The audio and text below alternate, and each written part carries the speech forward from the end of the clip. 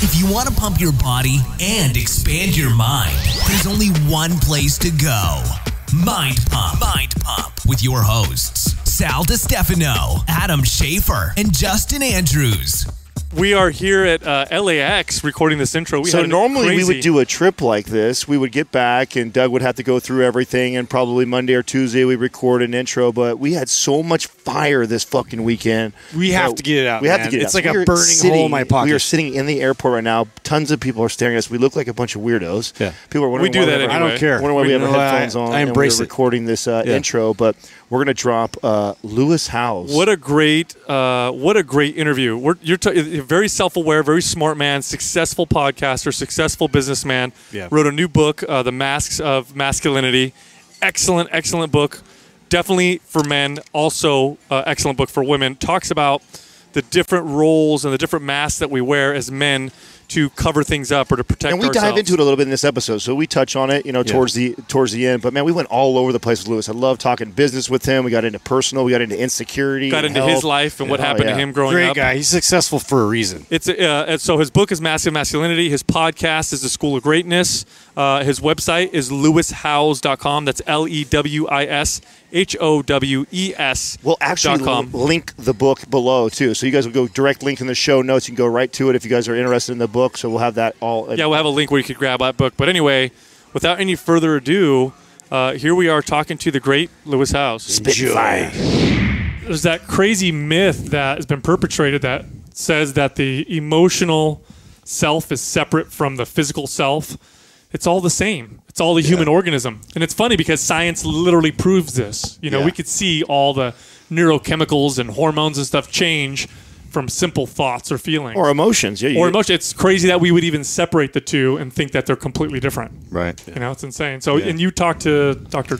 Dr. Josh Axe, yeah, and you guys got to get him on and have him talk about this as well. But we were talking yesterday about how you know, uh, even if you did everything right with your body and nutrition, you worked out, you slept right, you ate right. If your emotions were felt trapped, if you felt like you were a prisoner to your own heart, then you'd still get sick. You'd still have disease. You'd still have challenges. And so, really, I think it's combining like emotional health and physical health all in one if you want to have an optimal life. it's all it's all part of it. It's funny too because when they do some of the best studies on longevity and health come from uh, places in the world called blue zones. Yeah, These areas like There's you know one over here, I think. Actually, Yeah, Loma Linda. Yeah, yeah. the, the Seventh Day Adventists, Uh-huh. I believe. Yeah. Um, and what they did when they did these studies is they said, okay, they thought they'd find some silver bullets, like, oh, for sure, everybody's gonna we're going to find this one food or this one. And It's they all really the didn't- acai berry. they, yeah, exactly. Yeah, yeah, right, right. They really didn't find that, but one thing they found that was consistent was these that they all had this kind of tight knit group uh, around Family, them, community. family, Yep. community, whether it's religion or whether it's their you know their their significant other or their the, the you know the people around them in their town. Grandparents were around, whatever it was. Yeah. Yeah, and it, they find that consistently. That consistently leads to not just a longer life, but a healthier life. Yeah.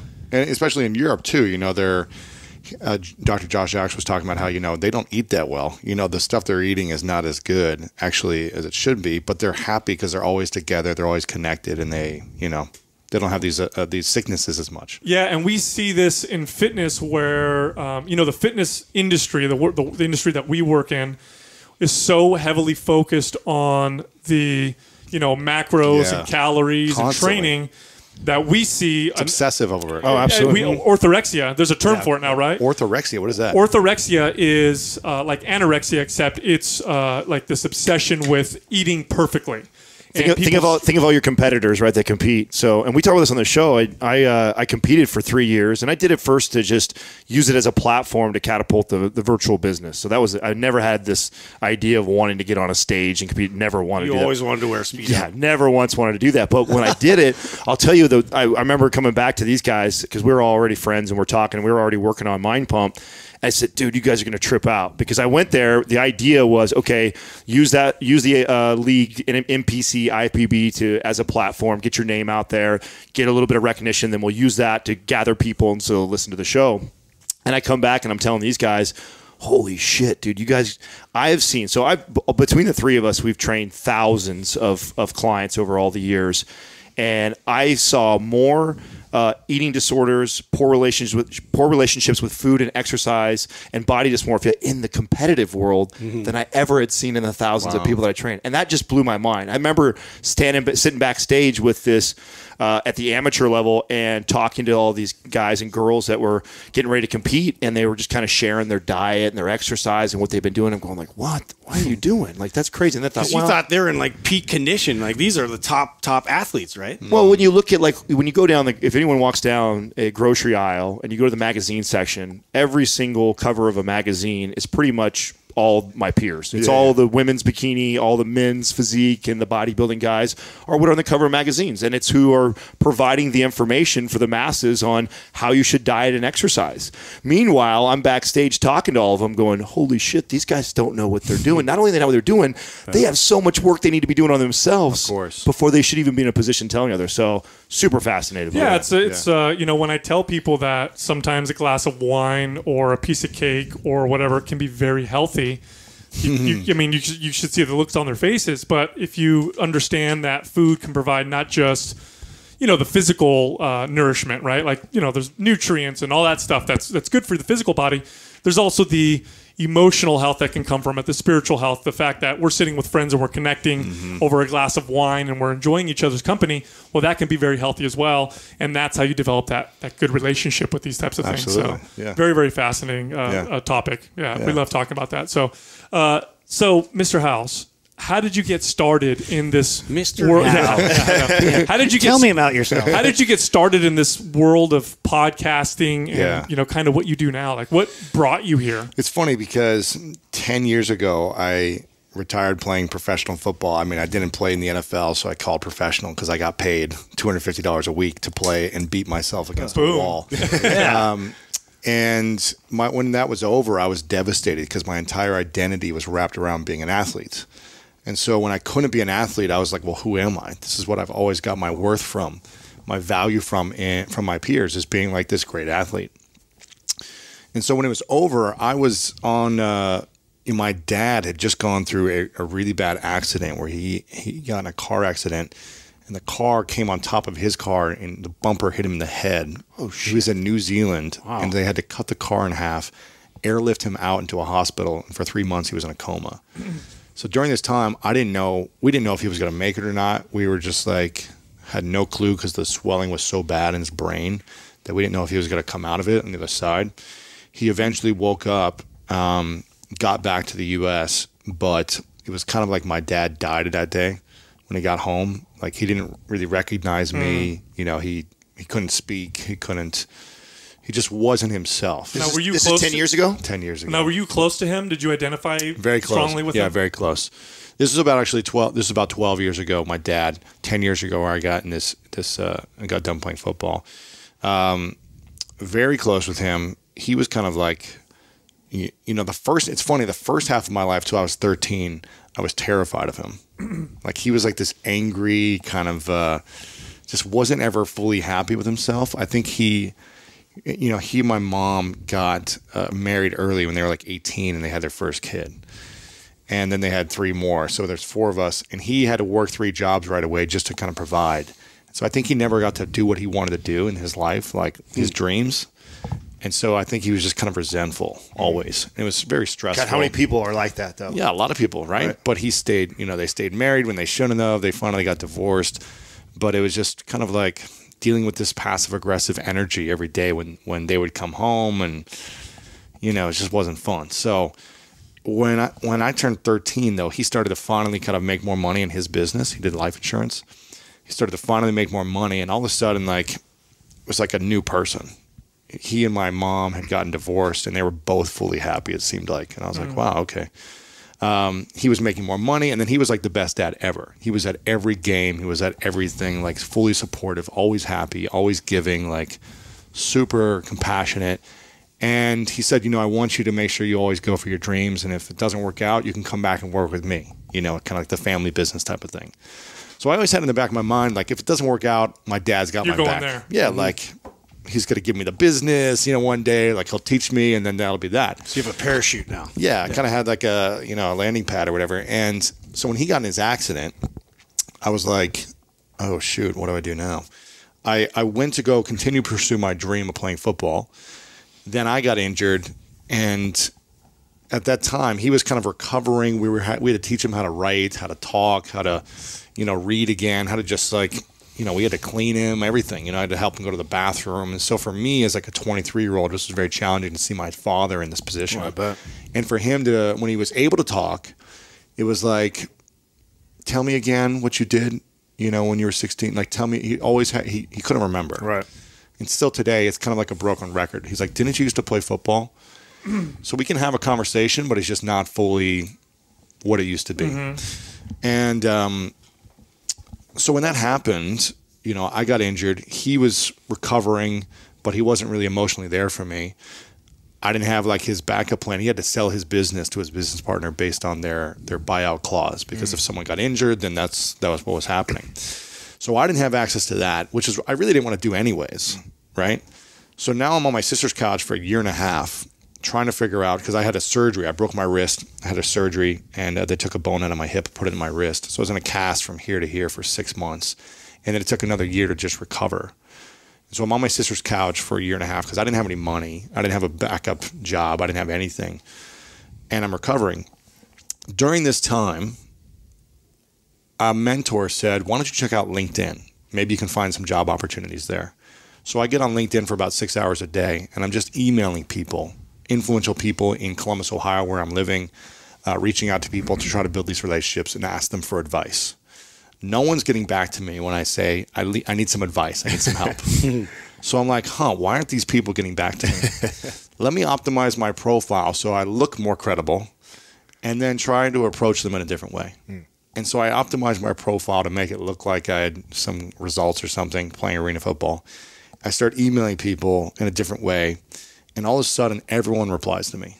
Anyone from like top CEOs to millionaires to leaders in the community to big names in the industry, everyone's replying to me. And I'm like, huh.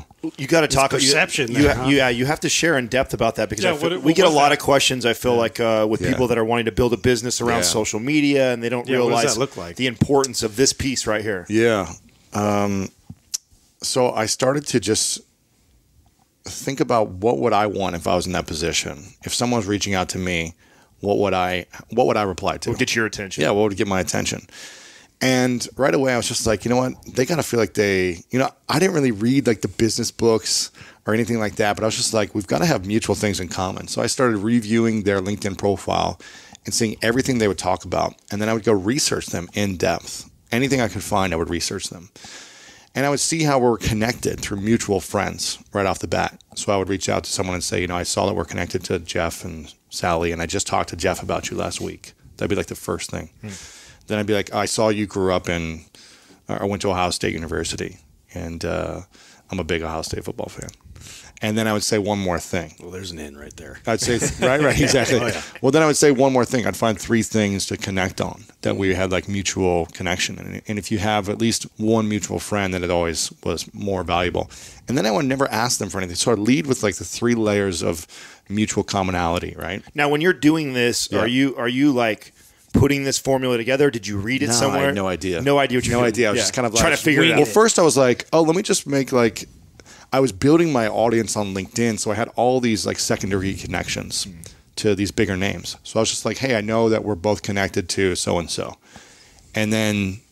You know, sometimes that would work, sometimes it wouldn't. And they'd be like, I know we're both connected to so and so, and I see you played college football. So did I. I played in the Arena League. And sometimes that would work, sometimes not. So I was like, okay, let me just add more things to it. Yeah. I see that you were like a sports management uh, major. I see that you were this. I see whatever I could do to relate to them. I would try to put that out there. And I found it like if you find three things, then that's pretty. It was kind of like the formula for me. Right. And um, and then I would do something else that most people never do, which I would never ask for advice, never ask for help, never ask for an introduction. I would make it all about them and find something specific that they had done in their career, whether it be like a jump in their career, something where they accomplished something based on their LinkedIn profile. And I'd say, I'm so fascinated by how you went from uh, a marketing person to the COO. And I'd love to learn that story. Would you mind sharing your story of success and making that happen with me? Now, when you're asking that question, are you thinking podcast? yeah, I was gonna say No, no, no. This is 10 like years ago still. This So is still 10 years ago. Okay, so this is still I just didn't even know what a podcast was. right, right. But I was just like, here's what happened. I started getting all these people, these leaders in Columbus, Ohio, who were like, yeah, I'll give you 10 minutes. Like, let's join, a, let's meet up for coffee or, or breakfast or lunch. So all these people were meeting with me. Before, they wouldn't meet with me at all when I would ask for advice or ask for help. Or can I have 10 minutes of your time and pick your brain? How, how often do you guys get that? And um, when I said, like, I'm just fascinated by your story, I want to hear your story of how you did this. They were like, yes, I think everyone wants to share their story. Right. And so I was meeting with these individuals in person. And now this is when I was broke. So I couldn't afford lunch already. and they would pay for my breakfast or lunch already, which was like amazing. They were like, let me get it. This Like, is you're Thanks, kid, for calling me for Exactly. lunch. but they were like, you're actually doing me a favor, like for allowing me to share my story. oh. Yeah, they're like, I insist. And I was like, you sure? I can take it. But I was like, I don't have any money. So I was like, thank you. And, um, and I was like, wow, I'm building some unbelievable relationships. And at the end of all these meetings, people were like, what can I do for you? And I would never ask for anything. I was like, I just want to help you and I want to figure out what your biggest challenge is right now. And they'd be like, well, I need a new person in sales. I needed a new marketing person. I don't understand this like LinkedIn thing, how you've done it. Can you help me there? And so I was just trying to solve people's biggest problems, whether they needed investment, they needed a connection, whatever it was. I was just trying to be the matchmaker. And that was what kind of helped me initially. But in these conversations, I was like, man, these are fascinating what they're sharing with me about their story. And I was like, I wish my peers could, could hear this because I'm getting some unbelievable information. Now, I didn't know five years later. So that was five years later when I started the podcast. Wow. So I was just doing this for myself. And I started building my own business through first LinkedIn course and a book that I wrote. And I started doing LinkedIn networking events around the country. Wow. Yeah. So I did 20 networking events where I And this is early on. Like LinkedIn's only, yeah, LinkedIn's just really starting to rock and roll right now. 2008. I think there was like 20 million people on, 16 to 20 million people when I was when I was getting on, and um, so this was around the time when Twitter was kind of blowing up and people were doing tweet ups. I don't know if you remember this back in 2008. Twitter meetups. Oh, okay. So I would go. They were called tweet ups. Tweet He's, ups. he's like, yes. Yeah. So I would go to these tweet ups, and I was like, this is fascinating. Like, there's 300 people here, and they just met up from like just sharing it on Twitter. And I go, there's a real need. In 2008, there was a big need for. Uh, the economy was in a bad place. I don't know if you guys remember this. Mm-hmm. Economy hit a, had a, took a big hit. People with masters weren't getting jobs. Right now, I didn't even graduate college yet at this point. And I said, there's a need here. I want to bring people together that I'm connecting with on LinkedIn because they're all looking for more leads. They're looking for jobs. I'm going to bring them together. So I did my first event. 350 people showed up. Wow. And I was 24. I had like one suit jacket. I tried to show up like looking professional, and everyone else is like in their 30s and 40s. And I was like, "Who? What am I doing? I have no clue what I'm doing." But I acted like I had done an event and just like greeted everyone, and shook everyone's hand who came there. 350, your 350 first event. people. Now Yeah. you're charging for this. People are paying That's to attend. impressive. This first one I just did free because I was like, I don't know if people are going to show up. Yeah. Sure. But I got four table sponsors to pay 250 each, so I made a thousand dollars from like the sponsorships. And then I was like, huh, I wonder if I hmm. charged at the door if people would show up. And so the next one I charged five dollars, and I was like, God, I don't know if people are going to show up. More people showed up, mm-hmm. and they were more qualified, right? What a great what a great lesson that is right there. right? Yeah. And then I was like, oh man, I wonder if I charge ten dollars, but they still show up. So I charged ten. I charged 15, 20. And then I was like, okay, I've got the sponsorship, I've got the door commission. I wonder, I'm building these relationships with these kind of restaurants and bars where I was hosting them. Uh-huh. And I was I would reach out to them and I'd say, What's the, the deadest night for you? Like what's that? And it's like a Tuesday or Wednesday night. And I go, okay, I'm gonna bring three or four hundred people Oh, they love you for that. love me, Oh, right? right. And they're going to buy drinks and food. And I go, can I get a commission from the food and, and bar? Can I get 10%? And they're like, yeah, if you bring in this much money, we'll give you 10%. And then I was like, okay, I did that a few times and I get an extra few grand. And So I was like, great. can I get 15%? I just kept asking So for more. ask it, yeah. Yeah. Might like, as well. I'm going to bring you this. You're not Yeah. going to have it. You're not, I'm going to go Right. take it next It's door. if valuable not. to you. It's a win-win. Yeah. Win-win. And then I was like, people started asking me for like consulting on LinkedIn. So I just started doing one-on-one teaching them. They were like, "How are you doing this?" I'm like, "All through LinkedIn." And then I met a guy who helped me write a LinkedIn book. He was like, "You need to kind of scale this message, otherwise you're doing one-on-one forever." So I wrote a book, and I'd sell those books at my events. And so I was figuring out every way I could monetize one event to one platform. What now? What do, what do these look like? So you are you standing up and you're just talking to everybody how to utilize these tools? What are you I was, teaching? I was just bringing people together. I wouldn't even talk at all. what? Wow! I would so make- were just everyone's just like networking. It was, just just networking. It was just networking event. Oh, and I, I would have like a you know Even better. I had like kind of booths set up with like little tables like this where people would like put some of their products or whatever like services. So it'd be like five to seven booths per event eventually, and then I would make like an announcement for five minutes like, hey, make sure you guys are like tipping the bartender, make sure you're this, make sure you're this, like dropping your business card. I was just like building my own email list at the time through business So cards, great. and I still was just like. I just needed to make some money because I was on my sister's couch. Now, at, th- at this point in your life, because you're only like what 23, 24. 24 years old, do you recognize kind of the brilliance in what you're doing right now, or are you just when people told me they were like this is fascinating they Yeah. were like how are you doing this through linkedin and i realized like wow there's a real need here no one's really talking about this one platform they were all talking about twitter and other stuff at the time so i said i'm going to be the linkedin guy like i'm just going to go all in and be the expert on how to use linkedin because no one else was doing it. so this. funny we're talking about this because literally in the car on the way over here, I was talking about LinkedIn. Really? And yeah, I just I just finished the book The Four, which was an incredible book. If you haven't read that book, uh, and it's Amazon, Google, Facebook, and um, linkedin or and Apple. Thank Oh, you, wow. Doug. Thank you, Doug. The the big four, and they're talking about they're the big four four, four horsemen who could be the potential fifth one. They get into Microsoft in there, and they talk about how uh, Microsoft ten years ago was so huge, and then they've pivoted to like a consulting, and then they bought LinkedIn. Yeah. So I'm super fascinated in- Yeah. in, the direction they're going. Do you still are you still paying a lot of attention in the Here's the thing. I was like literally on there all day long, 24 7 for years. Mm-hmm. And I just got kind of burnt out. You're I was off of so. Yeah. bored of talking about like how to add your like bio and your profile picture. And I was just like, I'm over this. right? So I haven't even used LinkedIn in years. I mean, we have, we'll like post our content up there in the news feed or whatever because I've got a huge audience there. Yeah.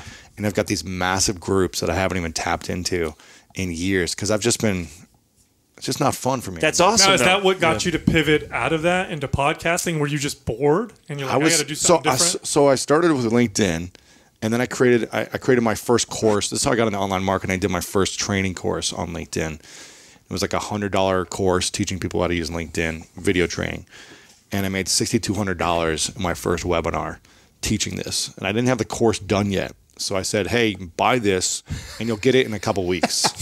And I made you 60 get it when I finish it. and it was like a it was like a janky. In I didn't know how to. I didn't know how to make a sales page. I didn't know how to do anything. So I just said like, here's a janky PayPal link.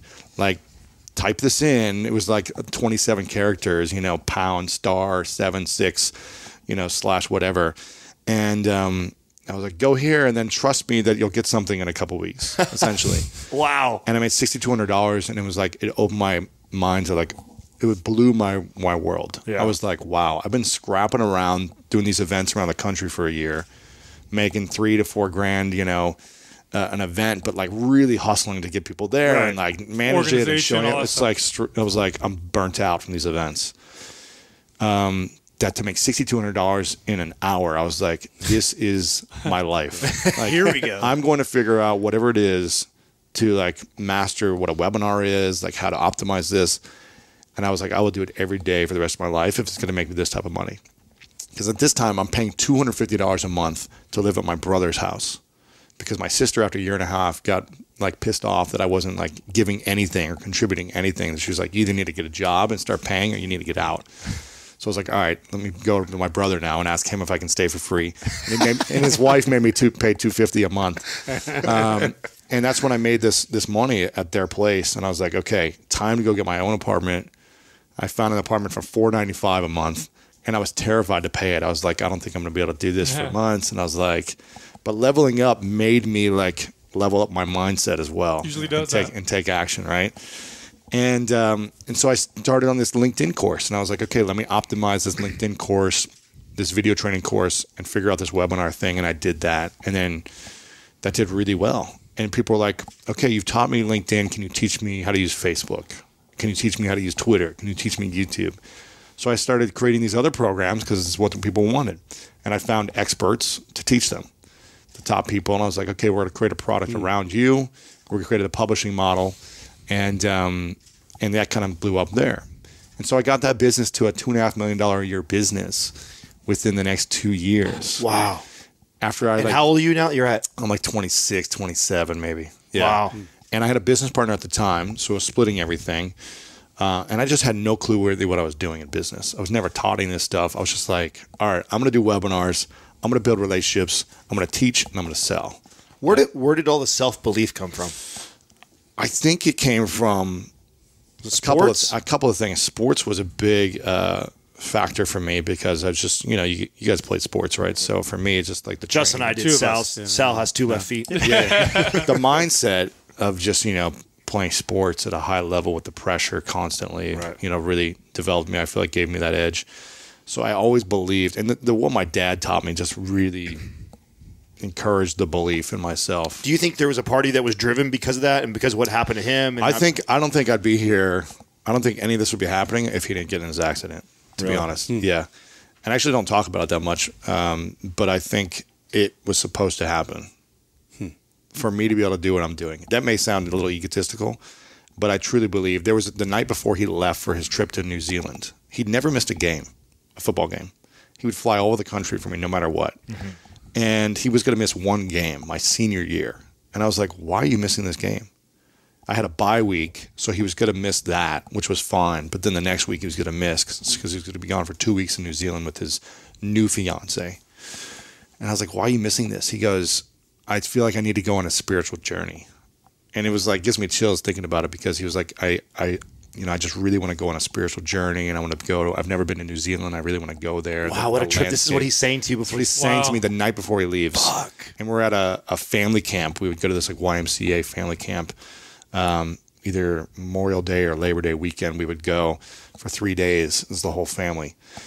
And he's sitting by himself on the couch. I don't know if I even shared this, but he's sitting by himself on the couch in like the, the mess hall area. And I just see him looking weird. He's like looking out at everything, just kind of weird. And so I go sit by him because he's just kind of looking like, I don't know, something's going on. I go talk to him. I go, you know, what's going on? You excited about the trip? Why are you leaving? And he's like, Are you angry right now? Are you kind of bitter as a kid? no, like, just, wait, no, because I'm well. I'm kind of like, you know, I had transferred to come back to Ohio my senior year so I could be closer to him, so he didn't have to travel as much. Mm-hmm. So I went to a school closer to him because I was always gone uh, from Ohio. So I was kind of like, man, you know, my first week I was like broke school records. Uh, I was like. You know, all conference, and then the second week he was leaving, and I was like, "Why are you leaving? This is like senior year. Like, let's do this together." You know. And he was like, I just feel like I need to go on a spiritual journey. And it was just weird the way he said it. It was just very weird. And um, and so the the game he m- missed the night before, I got a call at eleven thirty at night from my sister. I see it on my cell phone come up, and right away I'm like, something happened because my family knows not to call me like that late the night mm. before a Especially the game. day before. Yeah, yeah. Mm.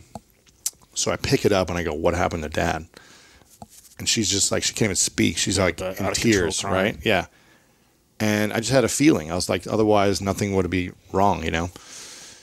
And she t- said the story. You know, he got an accident. We don't even know if he's alive right now. He's getting airlifted. We have limited communication. Like, and so I'm like, what do I do? Do I play tomorrow? Do I not? Like, and my brother was like, you got to play because we this, we have no clue what he's gonna what's happening, but he would want you to play, so you might as well play. So I did, and the second to last play of the game, I break three ribs, and then we lose the game in the next play. Hmm. And so at the end of the game, I'm walking off like hobbled, broken three ribs. We lose, and I'm like, "Is Dad alive or dead?" I'm like, "I don't even know." wow. You know, I'm like, "We don't even know." And so It's it's fascinating that moments like this, the most challenging moments of our lives, are the ones that propel us Yeah. into Yeah. you know what we're supposed to do. Yeah, and so I, I believe that like because I didn't have the backup plan anymore to go work with him, because I didn't have his emotional support, his mentorship, like I didn't have any of that. None of it was there. Like he couldn't communicate, he couldn't give me advice, he couldn't support me. It's almost like he didn't care anymore, right? God, and at that time, he's probably at that age where you're at in your life. He's probably at least one of the top, if not the top mentor, probably. Absolutely. No, he's brilliant. He's a brilliant man. Wow. Yeah, he's brilliant. And uh, so for me, I was like, okay, I got to figure this out. I got to find other mentors. I got. I can't let this be my excuse and just like sit here in Ohio and just be miserable on my sister's couch for longer time, like I've got to step up now. Dude, where does this awareness come from? Th- that level of awareness at that age. I think I always, when I was five, I knew that uh, I just had big dreams. I was just like, I'm here for a reason. you had a purpose. Yeah, I just knew when I was five. I was just like something magical was going to happen because I was in so much pain and insecurity growing up that um, I just felt like that uh, my sensitiveness was really like a, a superpower. And um, but it it wasn't at the time because I didn't have any friends growing up. But I felt like someday this is gonna this is gonna matter. It's gonna mean something. And so, yeah, Did you feel like you didn't fit in growing up? Absolutely, I didn't have any friends. Yeah, mm-hmm. I was like the tall, gangly, goofy kid. I was picked last in sports teams. I was made fun of a lot. I was in the special needs classes. I couldn't read out loud. So the teachers, I don't know if this ever happened to you guys, but they would like have us read aloud in mm-hmm. class, and it would come to me, and I would just stutter and stumble and just stop and sit down because I couldn't do it. So, yeah, I just knew that though. I just knew that I had to figure something out. Like this wasn't what my life was supposed to be. Right. I wasn't supposed to like not make it to the NFL and like get injured and be done and now what? Yeah. Mm. Like go work a job that I don't love. Did and you- just be miserable? Was that your ultimate vision? Was to get into the NFL? yeah. yeah. It was like your That was dreams as a kid. The Olympics in the NFL. Mm-hmm. Yeah, I wanted to. I- I wanted to be an Olympian, and I'm still pursuing that actually, which sounds kind of crazy. Oh, really? shit! What? I play what? with the I play with the USA handball team right now, Oh, good oh. deal. so I'm on the Olympic team. No way. We just didn't qualify the Did I last know two that about Olympics. You? Yeah, I didn't know. That's awesome. If here's the thing, if the Olympics were hosted in the U.S., I'd be an Olympian because it's an automatic qualifier. oh shit! The host country is an automatic qualifier for every sport. So you just have to. They only take one country from North and South America for team handball, and uh, you've got to win that tournament in order to go. And How the fuck do you get into team handball? Yeah. you're just like Yeah, from you- you football to team handball. I mean, 2008, again, the same time 10 years ago, I uh, was on my sister's couch and I watched the Olympics. I was watching during when I, had, I just got the cast off. you're like that handball looks I saw handball for the first time. I'd never seen it before. It was like 3 a.m. oh wow! And I watched these highlights and I was like, what is this sport? what's going I was on like, here? this is my sport. oh wow! and so I started obsessively researching. I was like, this is my chance to make it to the Olympics if I can't make the NFL. Oh wow! And then I researched like handball clubs in Ohio and Columbus. There was nothing. And then as I was gonna say, how do you even practice and get good at that? Like, yeah, exactly. So there's there's club. It's an amateur sport in the U.S. Okay. This is handball where it's like water polo on a basketball court. This is not a handball where you hit a ball against the wall. Oh, that's what I'm. Yeah, that's what. I'm thinking. That's what I'm picturing right now. So describe this for this listeners. is a. uh, Do you know what I'm talking about or no? no, I'm, I'm Team handball is imagine water polo okay. without water, Okay. where there's two teams throwing a ball. Oh, that's kinda cool. Oh, Dribbling, and it's on a bigger basketball way court. cool. And it's like a, a small soccer goal where you're throwing it behind a goalie. So imagine soccer with your hands. Okay. On a smaller field. Oh wow. You're dribbling, you're passing, and but it's Can very you tackle aggressive. people? You can't fully tackle them, but like- you can like hit field- them Oh, I was almost Like in. field hockey, kind of right. kind of like lacrosse Yeah. with your with your arms. Yeah, Right. And uh, it's fascinating. It's unbelievable. It's one of the fastest sports in the world. Uh, it's huge in Europe. You know, twenty thousand people come out to watch these games. It's like it's unbelievable. And so I moved to New York City two years later. I said, when I make enough money, I'm going to go to New York City because that's where the national champions were for handball in the U.S. After I did all this research, I found like, okay, New York City is the place to be if I want to learn this. Two years later, when I made this money, I moved to New York City, walk into practice and say, I'm going to be an Olympian. I'm going to make the USA team. And they all laughed at me. I'm the only American. It's all Europeans that have moved to New York for other reasons. and you've never playing. really played this sport. Never played in my life. I said, I'm going to make the USA national team. I'm going to the Olympics. They laughed at me. They wouldn't even speak. they to, they wouldn't even you the speak to me. Yeah. They wouldn't speak to me in English. They would just speak in their other languages, Mock- probably mocked you. making fun of me. but I showed up every single practice for that year, and nine months later, I made the USA national team and started competing against Olympic teams in Brazil and Argentina and, and South America with the USA team. And this was eight, seven and a half years ago now, seven years ago, and um, I can't remember where we're at in the first place. But did I did I think I'd be doing this? When my dad went through all these things, I was just like, I believe that there was just more for my life than what I was doing. I just believe like I had an opportunity to to find a meaning of why all these things happened and make the most of it for the gifts and talents that I have and figure it out. And so I kind of had that that vision, you know, eight, ten years ago. Well, this kind of leads me to too to talk about your the, your newest book right now, and you talk about how different mass, kind of the same way that I talk about our greatest strength is your greatest weakness. So I say that a lot on our show, and you kind of talk the same way. and also, your greatest weakness is your greatest strength. Absolutely, right? So it's uh, inverse, right? Related. And I think that uh, the way you talk about the mass are very similar. And that could be a situation right there where is an example in your life where you're looking to play this sport. These guys aren't talking to you. I'm sure that the, the mask, your athletic mask of that you course. probably wore, was also what drove you to be so great at it. Right. Can you expand on uh, that a little bit? Yeah, the athlete mask is a powerful one because it, it when I was in third grade, I uh, got picked last on a, on a on a on a team. Oh, Sal can relate to this. Right, yeah. so I uh, so the the teacher said, "Okay, we're gonna go out to recess, uh, and we're gonna play like a a class game where we're gonna play dodgeball." And he picked two people to be like the captains to pick the teams. And he's like, "Okay, you get to pick one person at a time, and you trade off." The stuff that you can't do in school anymore, right? Right? Probably, yeah, yeah, right. But probably built great character in you now. exactly. and so there was like the two popular guys that he had like pick, and I'm thinking I'm one of the tallest. I'm pretty athletic. Right. They're gonna pick me a first, shoe in. Yeah. right? Yeah, I'm, I'm in. Yeah. So I'm kind of like standing close to them, like they're gonna pick me, you know.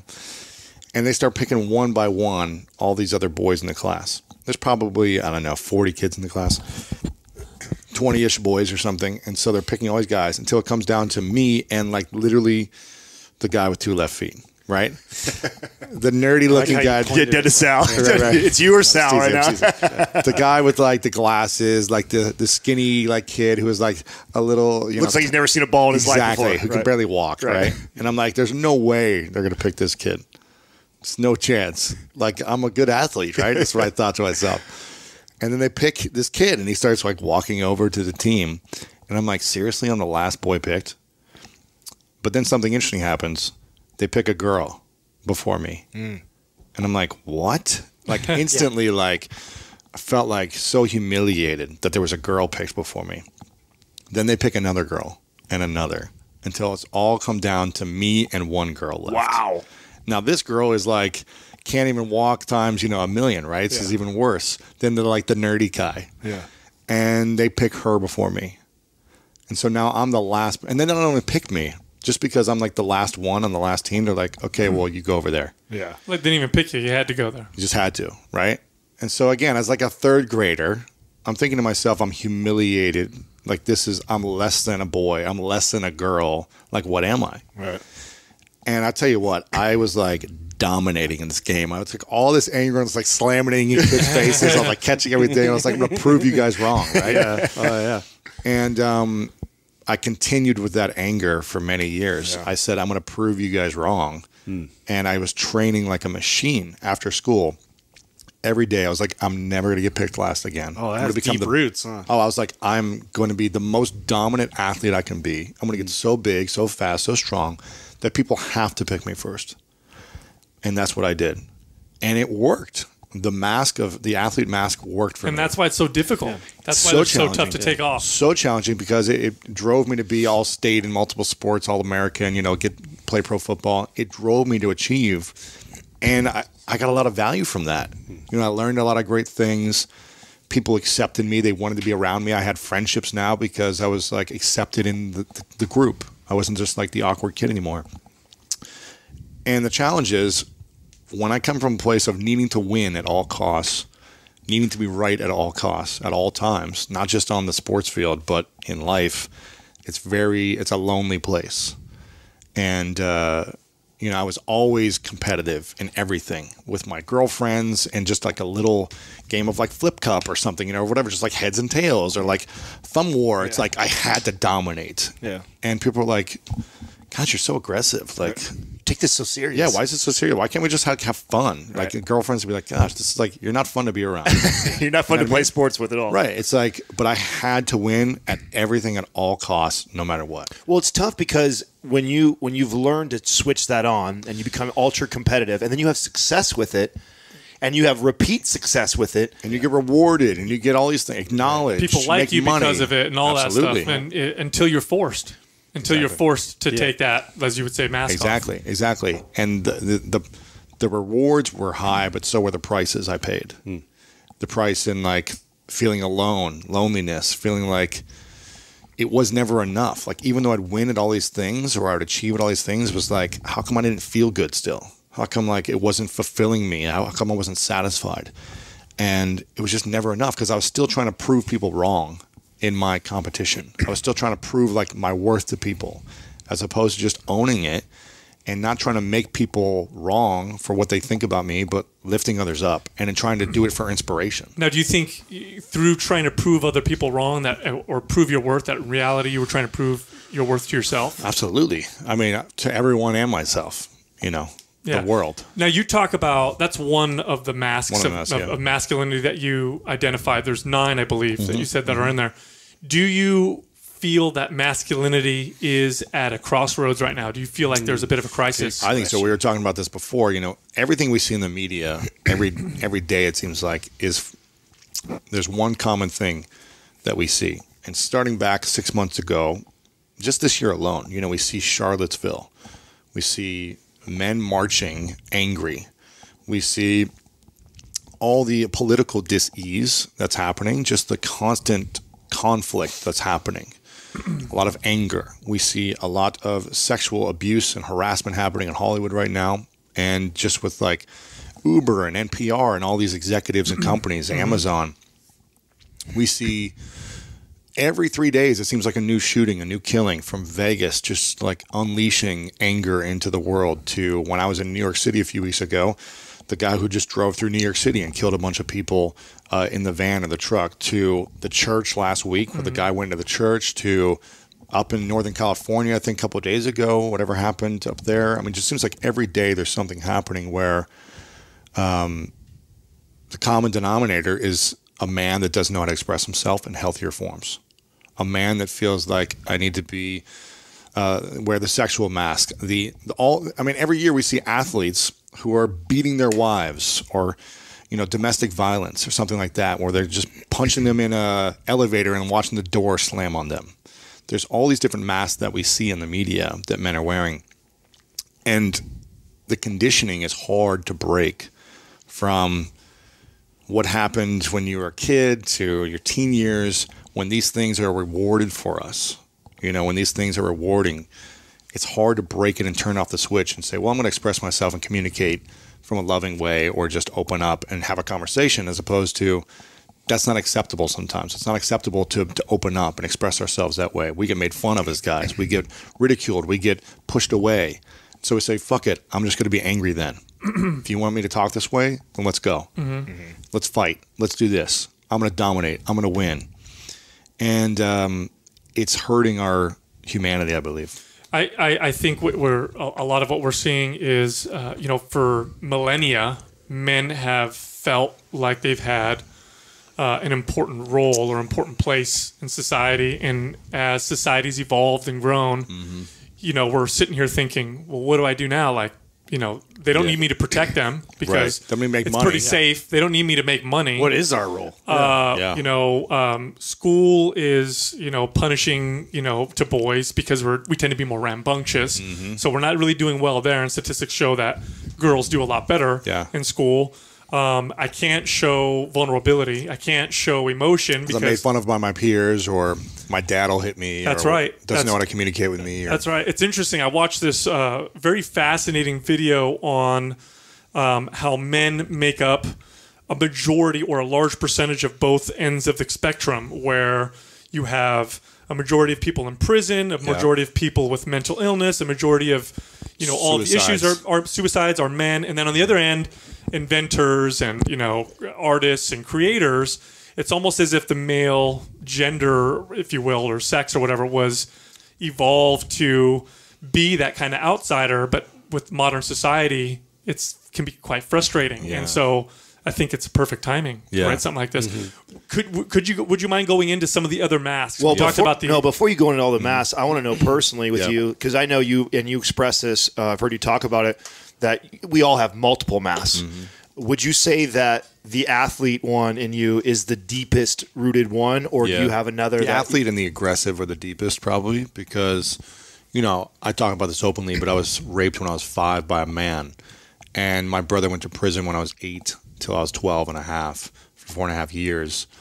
And so during that time, I didn't have friends because the neighborhood, you know, I was grew up in like a middle class white suburban neighborhood. So to have someone in your family go to prison Big deal. was unheard of in my community, in like the white neighborhood, right, or whatever. And um, so the parents of the kids my age were like, "You can't hang out with Lewis."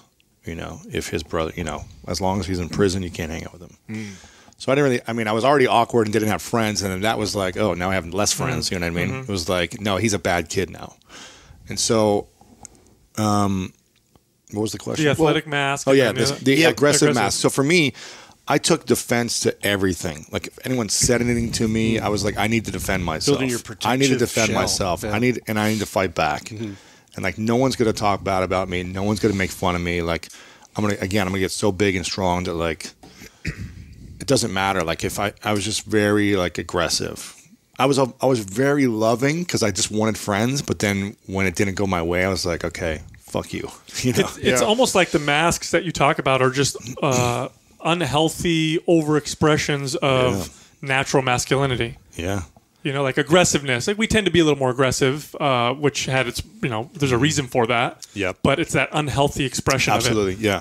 I mean, some of the other masks, th- those are the main ones that I had. Maybe Alpha a little bit as well. I mean, I wore them all, and I still wear them all from time to time. And so it's not like I've elevated to the mountaintops and I'm like aware Right, now. right. We never do, right? Right. I mean, you're always going to be working towards that. Exactly. But I'm very conscious of it when I am defensive. Even yesterday, I, well, uh, Matt, my COO, he, someone I felt very taken advantage of. And when someone, when I feel like someone's stealing money from me, it's even like a whole nother trigger for me.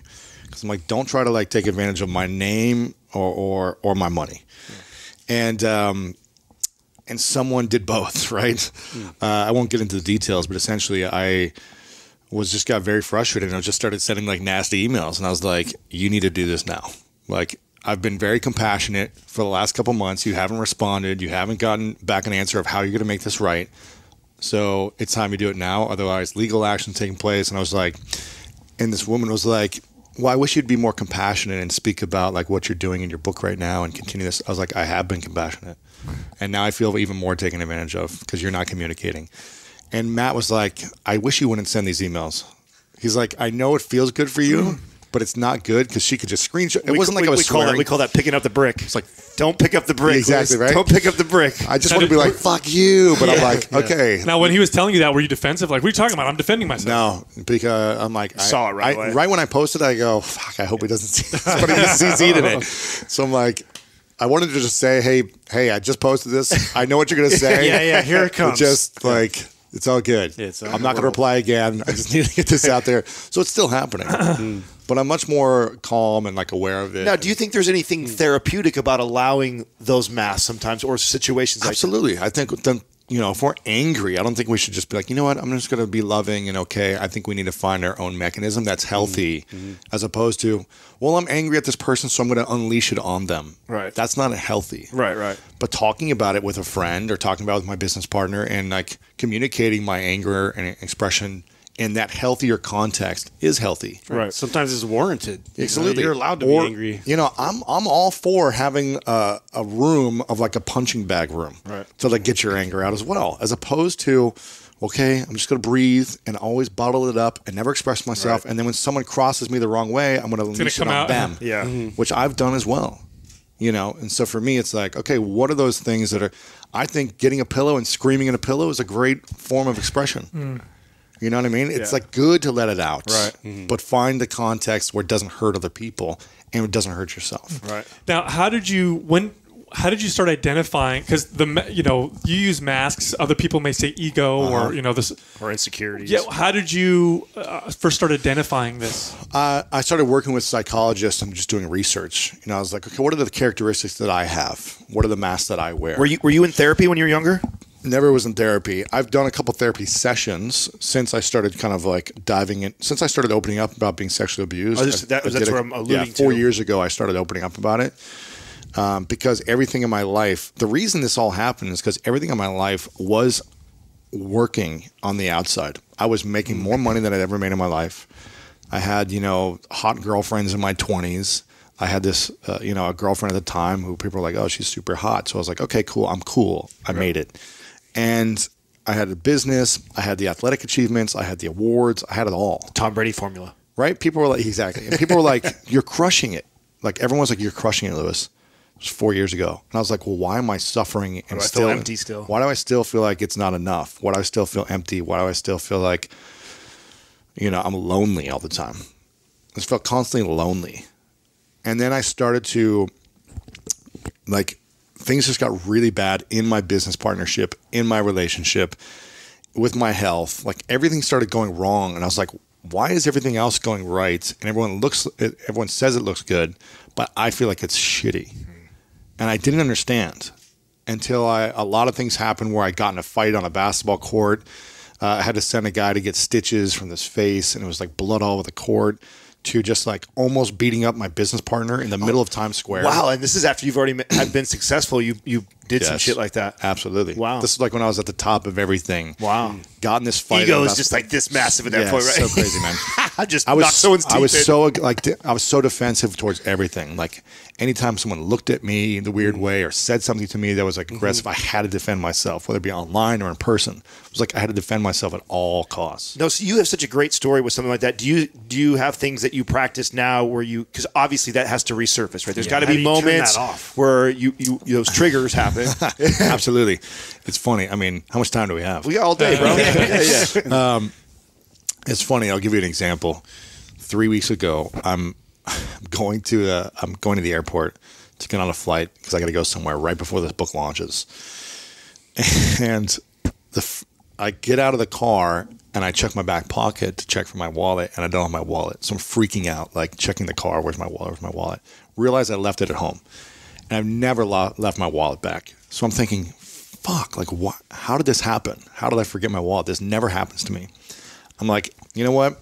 I'm still gonna make it on this plane because I f- always figure out a way. That's like my mindset. I'm gonna figure out a way. Is that self belief? I was like, there's always a way. or delusion. But I just believe. I'm like, I believe in the power of enrollment. Like, if there's something I want, I believe I will get it. Create for yourself. And so I was like, okay, door shuts in 15 minutes. I'm gonna make it on, right? Because I always get there about 15 minutes before like the door, because I've got TSA pre-check. I know the line I'm going into. I know how fast it is. I've got one bag. Like I don't have any water bottles in there. Like I know what it's gonna take to get through. And uh, I've done it so many times. So I get there and I go, okay, I don't have my ID. I have no identification. I need to get on this plane. I'm Lewis Howes. Yeah, they're like, do me you, your book. they're like, Do you they're feel do like you an have asshole anything- saying that when you do Well, I was like, do you, do you have any identification, on Ellen. bills, Yeah. anything? I was like, mail. I was like, nothing. They're like, okay, you need to go over to this other line and talk to someone else. So I go over there. There's like a hundred people in line trying to get through. I just go right to the front. I go, sorry, everybody, I got to get on this plane. I don't have my ID, this and this. They're like, we got to find someone else. They bring someone else around. They're like, do you have anything? I go, I have my book. I go like this. I go, I have my book. Does this work? It's got your face on it, right? I, Yeah, go, I was like, I was. I was like, here's social media, here's all these things. Like, no, it doesn't work for us. It's like, fuck. Okay, well, what do we need to do? I need to get on this plane. Well, uh, we have to get someone else to do a phone call where they have to answer a bunch of questions like on your background. I go, okay, let's do this now. I got 15 minutes. So they get they take their time, their good old time. We go outside, we get on the phone call. I have to fill out a bunch of paperwork. I'm like, just do the call, let's do this. I'm filling out paperwork. I answer the questions like my cat's first name, like my mom's maiden name, like my car from 10 years ago, oh, like addresses. I have to verify everything. Finally get through like this first test. Then like, okay, we need to go do the screening. I'm like, cool. TSA pre-check, right? They're like, no, you got to go through the normal line now to like do the full screening. I'm like, okay, let's do this. But they get me through. They pretty much have to like strip me down naked. And the guy's like, okay, sir, I'm going to put my hands on the back like this, but I have to cover like your Dude, the way they do that now is Yeah. crazy. It's like I have to go all the way Adam down that and like same feel you. experience. this just happened to me. Ever like, since he I'm grew like- his beard. Yeah, exactly. right, exactly. Yeah. And um, I'm like, okay, just grope me, strip me down naked. I was like, I gotta go. I've got like three minutes now, right? This is whole process is done in like three. I'm checking my phone. I'm like, the door closes in three minutes. Let's go. Do whatever you need to. Like tickle my balls. I don't care. Like, let's go. And um, and they have to take every item out of my bag to swab each item and put it through the Oh machine. And I'm like, guys, like, let's just do this as fast as we can, please. Shoes off, everything and they're groping me. They're taking stuff out. I'm like, can we hurry this? I'm trying to be calm because. I don't want them to like frustrate. I'm like, It says I have two minutes now. Can you guys? Is there any chance we can speed this up, please? You know, I'm trying to be nice. Yeah. And they're like, the gate is right here. Like, you're gonna be fine. You're gonna make it. This is what this woman said to me. I was like, ah, that's the first time in my life I feel like I'm not gonna make it. By you saying that, it was like a bad sign. I go, okay, I'm trusting you. And she's like, you'll be fine we get everything together. They're like, okay, you're done. I grab it all. I just start sprinting with like shoes in hand, bag, like clothes hanging out, running to the gate. Door closes right as I go around. I go, can you open the door? I got to get on. They go, sorry. Once the door's closed, it's closed. I go, there's got to be a way. Can you open it up? Can is there a supervisor? You can unlock it. Can you do something? Can you call the pilot? Like, I was like, anything. They're like, sorry. Once it's closed, it's closed. It's policy. And now I'm talking to this customer support woman looking at the plane through the window. People are still boarding the plane oh, through the thing. It's still connected. I go, the plane is right there. It's not leaving. Can you just let me on? Yeah. And she's like, there's nothing we can do. I was like, and so at this moment, I am pissed at myself for forgetting my ID. Right. I'm pissed at the TSA pre-check people because they're like threw me around everywhere. They took the good old time. I'm like, these people lied to me. They say they'd make it on here. I'm thinking all these things. I'm trying to blame everything else. And there is a trash can and a pillar holding up what it seemed to be like the entire airport right next to me. And all I wanted to do was punch through this pillar and break down the airport. and then kick this trash can and watch it explode in front of everyone's faces. And all I wanted to do was scream at this woman. I didn't do any of that. I just stared at the airplane and was like huffing and puffing. And the woman was like, Sir, what would you like us to do? And I was like, If I say something right now and look at her, I'm probably going to regret what I say. And all of a sudden, the awareness pops in. I go, How funny is this that I am going somewhere to talk about my book about masculine vulnerability? The irony. and all I want to do is punch someone in the face. Yeah. And so I just start smiling to myself and I go, okay, this can go one of two ways. I can walk out of here uh, humiliated and in handcuffs, or I can walk out of here with my head high and let it go. Meant to be. And so I just like look to her and I start talking a little more calmly. And I'm like, okay, is there anything we can do for another flight tonight? She's like, sorry, there's no other flights. So I'm like, More lessons, more lessons, more lessons. okay, okay, surrender to the process. And um, at the end of it, you know, I walk out of there calmly and not in handcuffs. You know what I mean? I like, I, I, I, I get out of there and I'm like, okay, you know what? This was a lesson. This is a moment I get to take, be aware to. Like, sure, I could have handled it better, um, but I still didn't break a wall down or something like I might have in the past. And so it's just being very mindful of these moments. And what I do now is in the morning, I actually think about all the things that I want to manifest that day and create, but I also think about like what are all the things that could happen today with my triggers. You know, I'm in LA traffic, so if I drive today, I'm going to be triggered because someone's going to cut me off, someone's going to be slow, something's going to mm. something's going to honk at me. Mm-hmm. It happens. My old way of being is like to always be right and to show that driver like you should never cut me off because I'm going to cut you back off now, and I'm going to always be a little bit ahead of you, you. right? Yeah. And um, so I think about like what happens if my girlfriend says something that triggers me. In the morning, I'm like, okay, how do I want to respond? With defensiveness and anger or with love? And so I think about that in the morning. Meditation really helps me to just be mindful of like staying focused on two things. And this, th- what this book and this whole process has helped me with, is realizing that there's two things that we should be uh, think about, thinking about at all times, based on our actions and our reactions in any situation. And that is one, does my response support a purposeful vision for my life? If me responding right now and punching this wall, is that going to help me achieve my vision for my business, my health, my relationships? No. And the second thing, does it support my inner peace? No. I call it desired outcome. That's what I tell people. Desired before outcome, You, before yeah. you before you say open your mouth or do anything, think desired outcome. What's your true desired Yeah. outcome from the situation?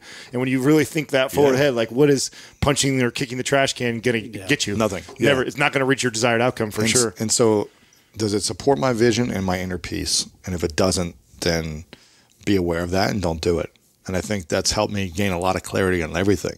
Hmm. It's like, does re- does saying yes to this commitment that someone asked me to do uh, whatever, uh, an interview or a meeting, does it support my inner peace and my vision, or does it make me stressed out? So now, when you have those moments, do you stop and breathe? Do you do Absolutely. something to Yeah, yeah. No, I breathe. shut that off? I breathe and I don't respond until I've asked myself hmm. that. Th- What's my reaction going to be? Is it going to help these two things? And like the, sending this email yesterday didn't help my vision or my inner peace. It felt good in the moment to be like right, mm-hmm. but you know, if I really would like went there and like swore and did all these other things, like it could have been probably you know she could have screenshot that and put it online and oh, like said like Lewis is like a hypocrite and mm-hmm. isn't do what he says he does. You know all these things like you know again it would have been more challenges down And, the and the irony is, all the things that we do that we think protect us and shield us are actually the things that do the exact opposite. Absolutely. That's the whole irony of it. You know, Eckhart Tolle talks about the ego and learning how to become the observer, Mm-hmm. and it's the ego that reacts. And stopping and observing really makes a massive difference, but it's a practice. Yeah. Huge practice. It's a practice you got to do every day. I talk about it, you know, with friends and family. It's like exercising. It's like working out. Like you're not going to work out once and all of a sudden become strong and fit. It's something you need to do Every every, day. single day, and sometimes your workouts are better than others. Yeah. and it it just doesn't work where you just do it once and like here I am, I'm you know evolved and. I get it. It's something I got to practice every day, and looking at these uh, these moments like lessons, it's like looking at your workouts. You know, That's like, it, man. That's, Well, that's absolutely. Let, let's speculate a little bit. I, lo- I love when I have another really intelligent mind to add to this group and and someone who's self aware self aware as you are, and you also mentor a lot of young entrepreneurs that are coming up. Where do you, what do you see with the generation coming up right now? What do you foresee the challenges they them dealing with with social media and everything going on? What do you what do you a lot of it is the comparison mode that I see with social media. Like everyone's comparing themselves to everyone else, especially in the fitness space. It's like, well, this person has more followers by doing this, so I need to do this. This person looks a certain way, so I need to look a certain way. And what was the word you guys talked about? The uh, intuitive. no, the anorexic thing. Oh, The orthorexia. Yeah, and so I mm-hmm. feel like it's a lot of orthorexia for everything. It's like trying to be perfect in all these areas. And I Do you see it getting worse or better? Um, I see it getting worse first, and then people realizing Yes. like this doesn't work. They have to go through their own lessons, mm-hmm. unfortunately, uh, unless people are so aware to be like, oh, okay, I'm going to hear someone else's story, whether it's mine or someone mm-hmm. else's, and be like, oh, they had everything and it wasn't it all. You know, I, I love the quote from I think it's Jim Jim Carrey where he's like, I hope I hope everyone in the world becomes rich and famous, and they realize it's Yep. Yeah. like not the key. How true funny is that? Guy goes off in the woods, does a bunch of mushrooms, and comes back totally enlightened. Right? exactly. Yeah. so uh, I think um, the challenge is people are driven to achieve and to to make a lot of money and to be successful or whatever, but it doesn't bring the fulfillment. It just doesn't. I feel like a, a lot of the generation coming up too is in search of their, this purpose, right? They, they want to find this purpose. And when I hear a story like yours, I feel like there was so much heart, heartache, hard work, failures, things that had to happen for the success. And even when you had the success, it wasn't the success that you wanted. Mm-hmm. You know, can you elaborate a little bit on the importance that of that and that whole process? You feel You know, it was all to prove my worth in the world. The achievements that I wanted to achieve were to show people like I was valuable to be here in the world and to prove them that they were wrong about me. And it's just, it's negative fuel is the most powerful fuel in the world, but it'll never last. It's not sustaining. Mm-hmm.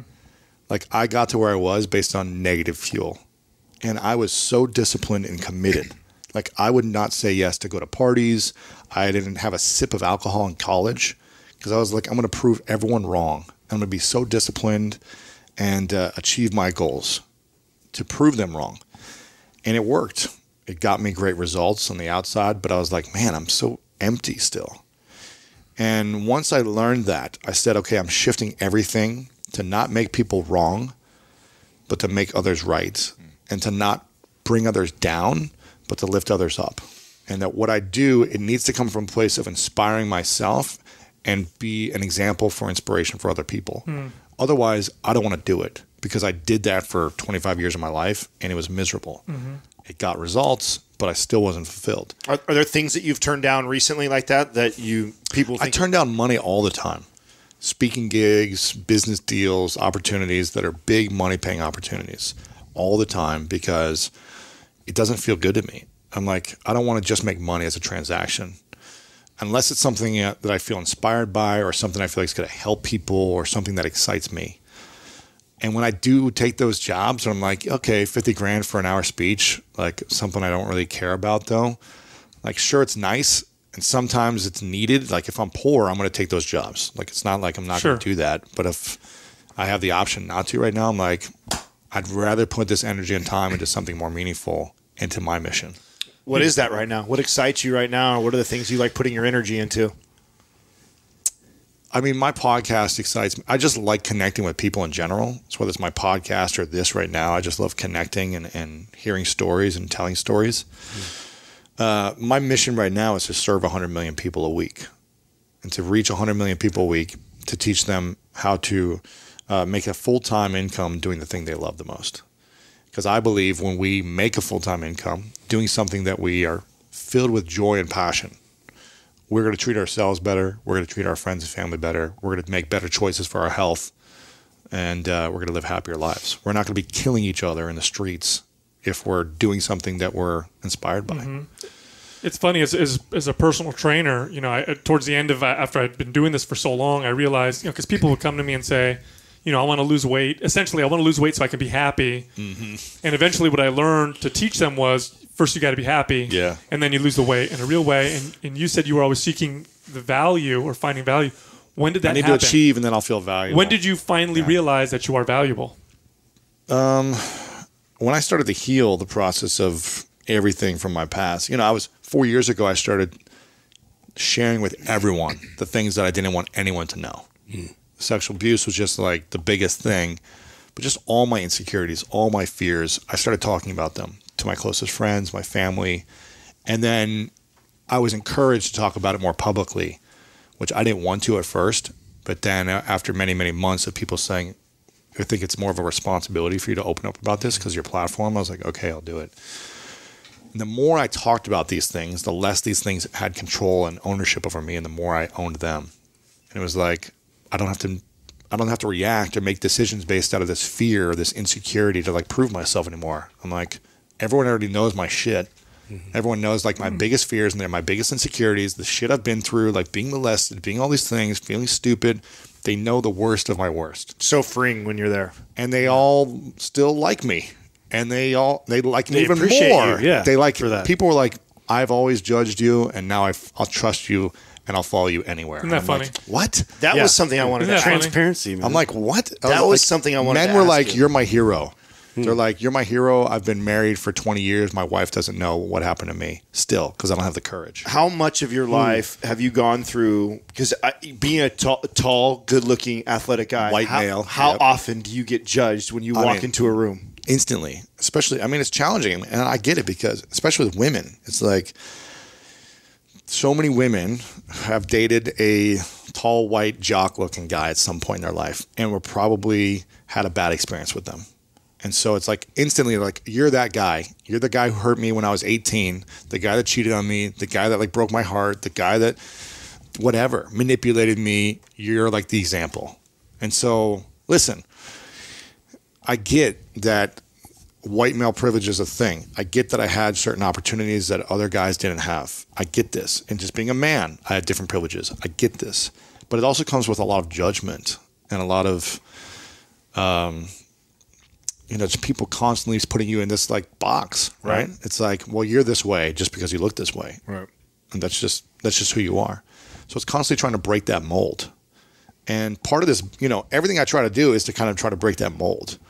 And this book is like very unexpected for a lot of people because there's not many tall, white, jock men opening up about vulnerability Right, in right. general who are saying, yeah, this is what I've been through. This is my flaws. This is my challenges I've been mm-hmm. through, but they don't own me anymore. And I'm going to work on being better.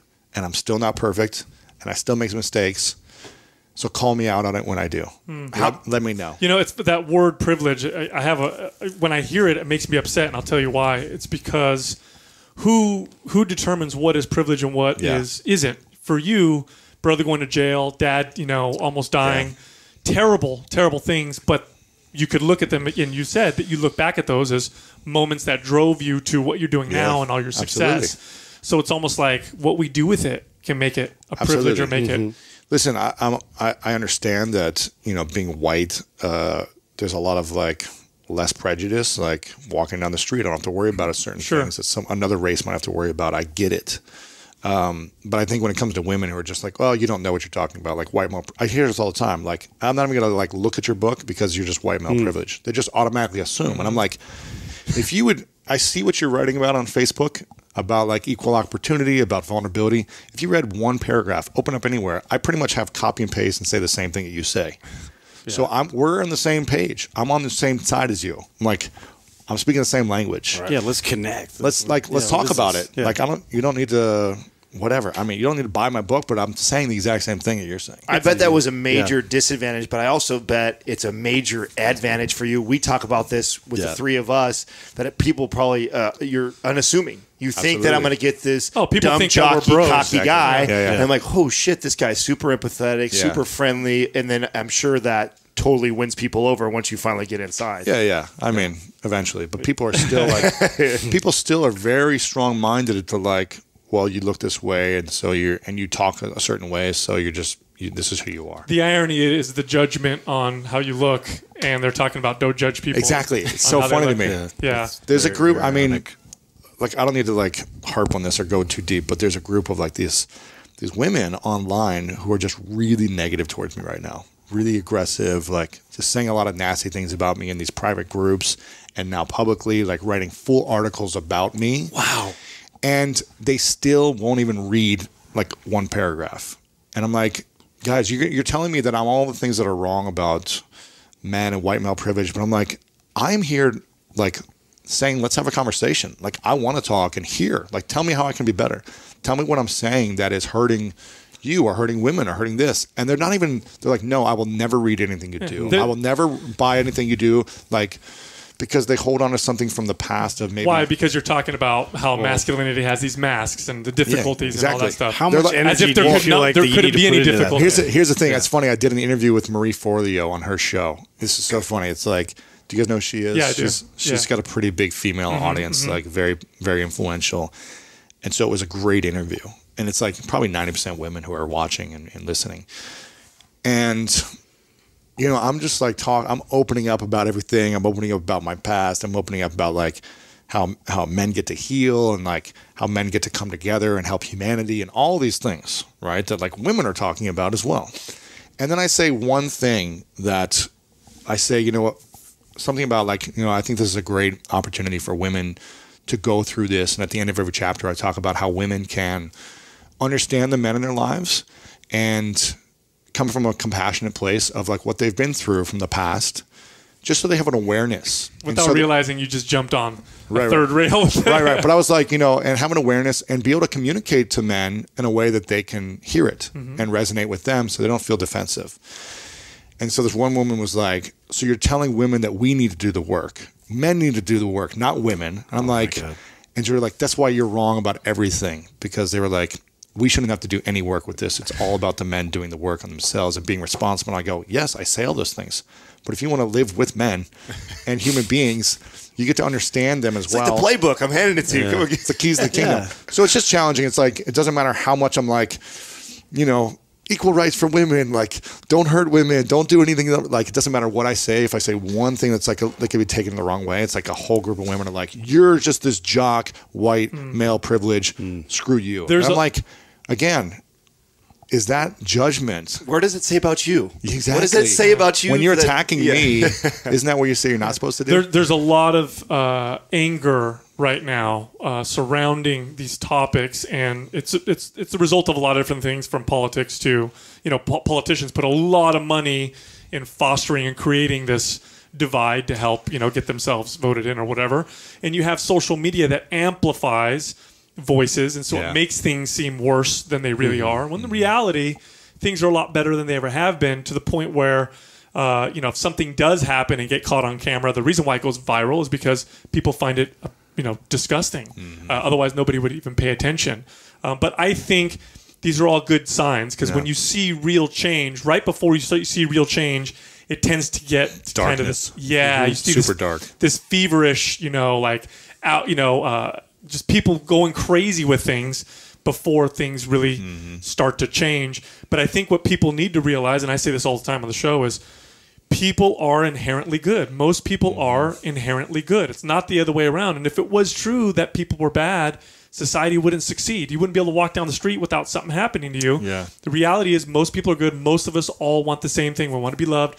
We want to be accepted. We want what's best for our children, and we want to feel fulfilled. Doesn't matter if you're a man, woman, Right. black, white. Yeah, Doesn't gender non-conforming doesn't Does- matter. It doesn't even matter. Everybody kind of wants the same thing. And if we just listened, if we just listened and tried to understand or seek to understand before seeking to be understood, yeah, or judgment or whatever. Yeah. oh, I think we'll go so much further. Absolutely. Absolutely. And I think a book like yours is, is, is perfect for that. So Thank you. excellent. Appreciate it. Appreciate it, excellent. yeah. Excellent. Thanks for coming on the show, man. Yeah, Yeah, dude. yeah, it's Yeah, You been talk about how I got into podcasting yet? Oh, we need to get there. That's another show, dude. Welcome to Mind Pump, bro. This is what happens. We just start talking Yeah, about some shit, go all different directions. Yeah. I, I would love to hear that story. Want to hear it? Yeah, yeah, do yeah, it. story? Yeah, yeah, let's hear it. Um, so to kind of get back to the original question, the first question. to get back to the very first how'd question. get into podcasting?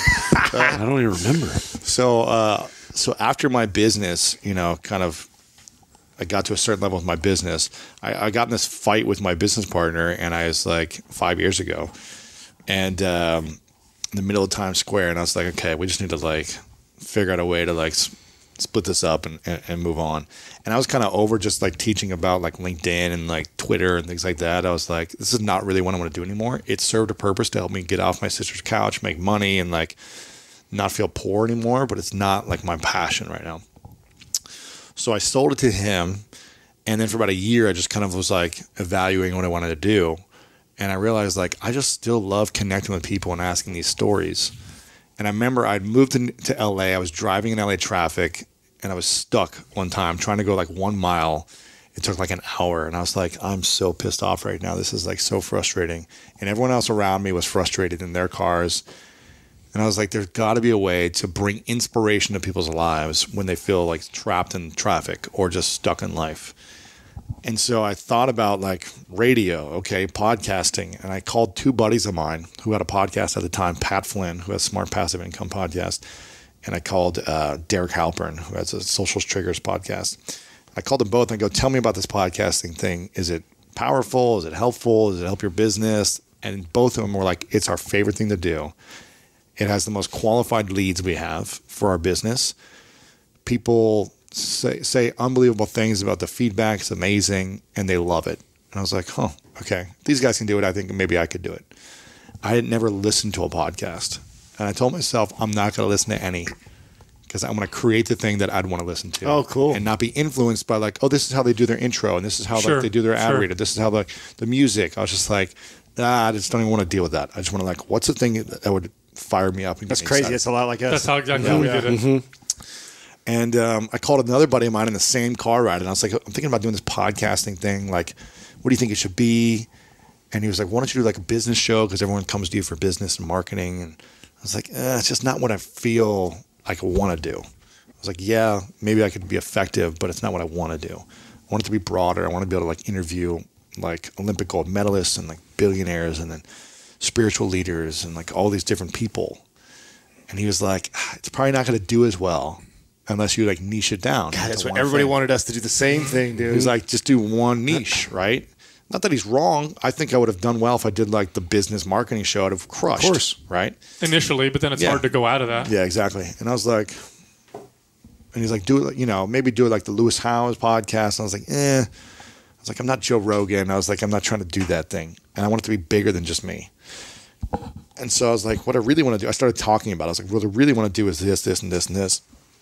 And I was like, God, I just wish, you know, these conversations that I get to have with all these friends of mine who are influential from every different industry. I was like, I wish people could hear these because it's unbelievable what they're saying to me and what I'm learning, but I'm the only one learning it. And um, I was like, I wish this is the stuff that I was been taught in school because it was so challenging for me. And everything was very hard, reading these textbooks and like just not understanding things. And I was like, this is the stuff that's helped me get to where I am in business and relationships. So I was like, I want to create a new school, like a school of something. And I was like, God, I just want to be fucking great. Like a school of greatness, baby. And I was like, that's it. He was like, that's a great title. I was like, is School of great Greatness. title. And it just mm-hmm. like from that, you know, that frustrating moment created an opportunity, you know. my a weakness that I was facing created a strength. It was like make me think clear, get me out of the box. And so School Greatness happened. And then, yeah, almost five years ago, we launched it. And it, it kind of took off. Like, I remember saying to myself, I was like, I'm going to do this once a week for a year, see how it goes. And I'm not going to take any money. I'm not going to try to sell anything. I just want to do it because I'm excited about it. And I think that mentality really helped me because within like six months, the sponsors started coming and people were like, oh, I want to be on this and I want to promote, you know. And uh, I was like, oh, we have like a real thing here. when you first got going, and then of course you mentioned Joe Rogan. Obviously, was kind of he's like the Oprah of podcasting right now. Who other than Joe Rogan, like who are you kind of looking at? See, I know, and you were doing your own thing, which is just like us. But were you watching others? I wasn't. I still wouldn't listen to anyone's. I. It wasn't until a couple of years after I was like, all right, let me listen to a few podcasts, and um, I watched a couple of Joe Rogans, but I was like, man, these are so long and like Super long. super long, and it was like just some of the conversations were like, I've yet to finish one. I've watched. I've watched like forty, and I've never finished one. but people love it. I know. Oh, yeah. love it. They eat I it up. it. So Yeah. it's all good. I mean, Yeah. it works for people. Um, I was inspired by him, and then, yeah, you know, I don't know. I'm, I'm always like watching the rankings and seeing what's happening, but I'm never like listening that much because I'm just creating so much. You know, Do you when you look when you look back or listen to your old episodes? How good do you think you were? I don't listen to any of them. Okay. None of my episodes. Did you I listen never, or did you stop at one point? Because we listened to the listened to beginning a lot. Never listened to it. Oh wow. I actually We critiqued ourselves. It's funny because I went. and- I drove yesterday. I almost never drive anywhere, but I drove to see Rob Dyrdek's new show, uh, and it was about an hour drive. And so on the drive back, I was like, uh, let me just check out like Oprah's podcast because it was like the first thing up there. So I checked on Oprah and I actually listened to uh, Eckhart Tolle's things. Oh, talking did about you? The ego and the yeah, yeah. Fantastic, right?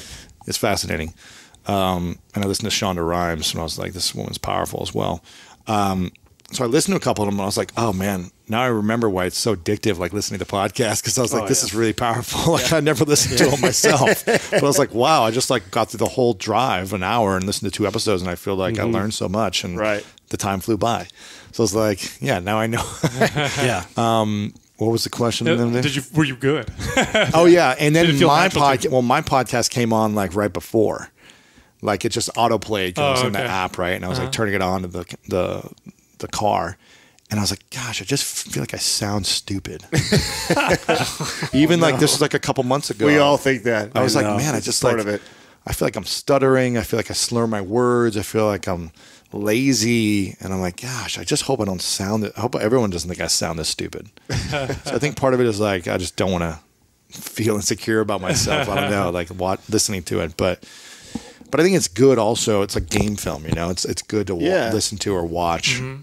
Um, I know I know we do a good episode when I'm listening to it and I'm listening to it like it's another show. Mm, when I get into show. it, uh, if I'm sitting there critiquing it, I know it's not that great of an episode. When I get mm-hmm. into it and I start listening to it, and I go, "Oh, okay, We're in the flow. yeah, we were in the yeah, flow. That flow. was really good." Mm-hmm. I find cool. I find podcasting Have, to be have you interviewed Steven Kotler yet? yeah, twice. Uh, oh, Oh, yeah. That's awesome. He's great. I find podcasting to be the most therapeutic thing I've ever done. It's like therapy.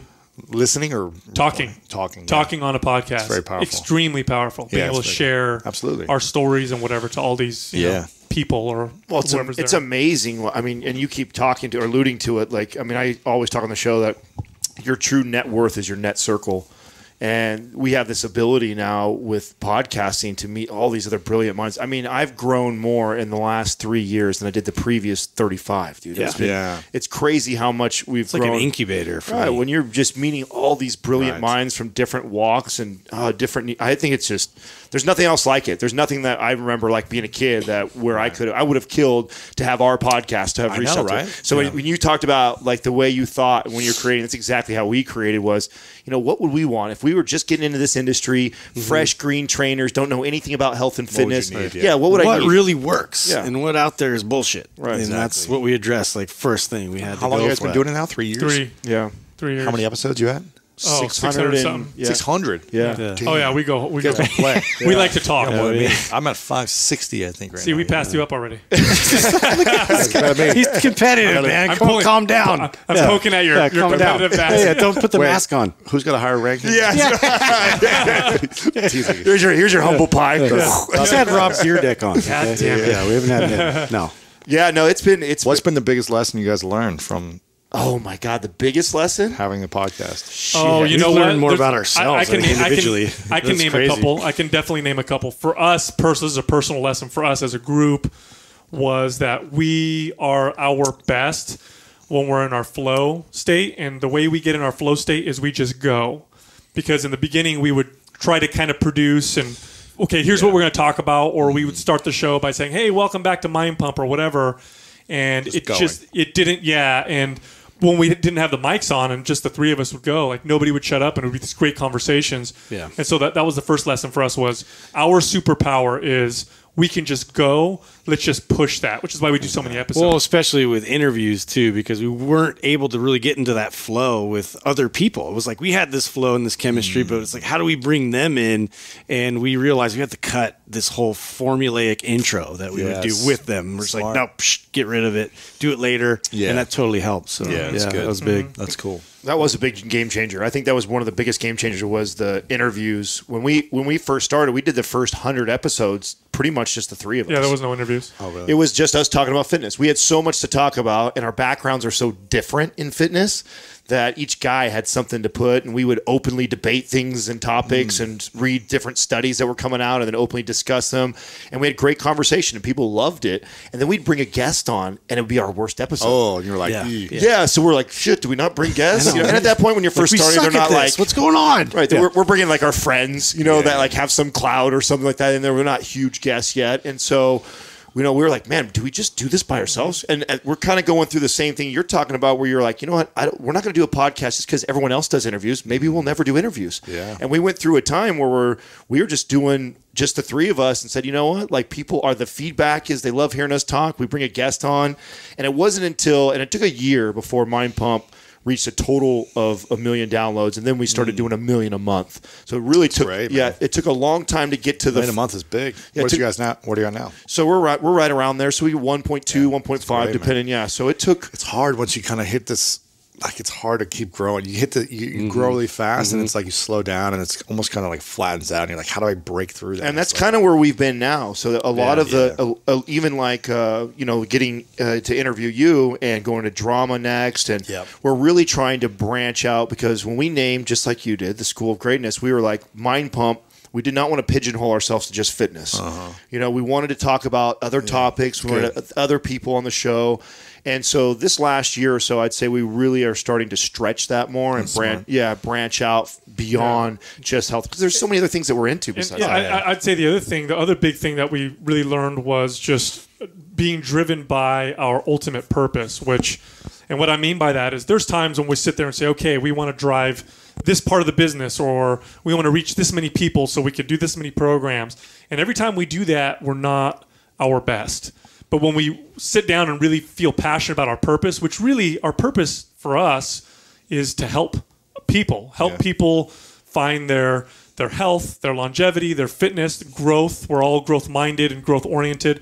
And when we go in with that purpose, everything else falls into place versus the you know strategic business you know type we of also have we have massive egos, and we think we're going to actually we actually believe we're going to change the fitness industry. Self-belief is Single-handedly. high. We, we believe that it's it's a big ship, but we think we're, we're turning it. yeah, if you don't believe it, it's not going to happen. right, Yeah. and I, and I think each of us 100 percent believe that. We believe that we're making moves that direction. It's slowly happening. I think uh, the t- our timing of our message too. It's we're very transparent. We share our insecurities. We talk about all the stuff that drove us to working out and three meathead bodybuilder looking guys no one was really saying that message you know it's all around motivation and beast mode and no days off and you know, it's it's the complete opposite message I feel like it's it's tough because I love saying like prove them wrong and all these other, like these little memes and these quotes. I love that shit too. It's like Of course. do whatever it takes, prove them wrong. Of Right. course. It's like all that stuff like Gary Vaynerchuk style and all these other people, and I'm like, yeah, I love that. I just want to do that, but then